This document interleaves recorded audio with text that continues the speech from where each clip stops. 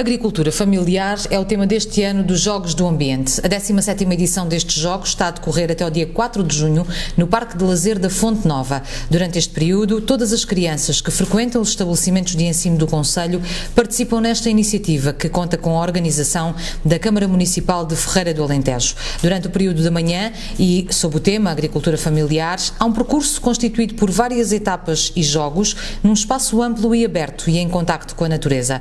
A iniciativa iniciativa pretende sensibilizar as crianças para as problemáticas ambientais do planeta e para uma cidadania responsável. Os Jogos do Ambiente, recordo, vão decorrer até ao dia 4 de junho no Parque de Lazeres da Fonte Nova.